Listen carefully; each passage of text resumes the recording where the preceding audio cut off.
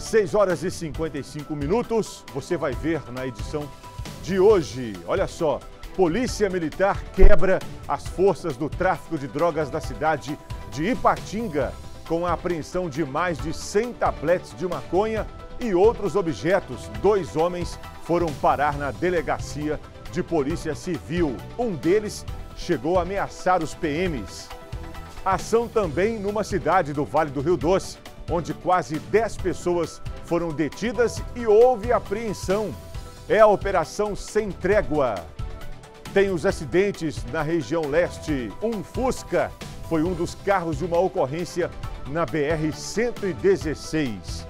E atenção, pescadores, já teve início o período da Piracema e vai até fevereiro do ano que vem. Você se lembra das regras?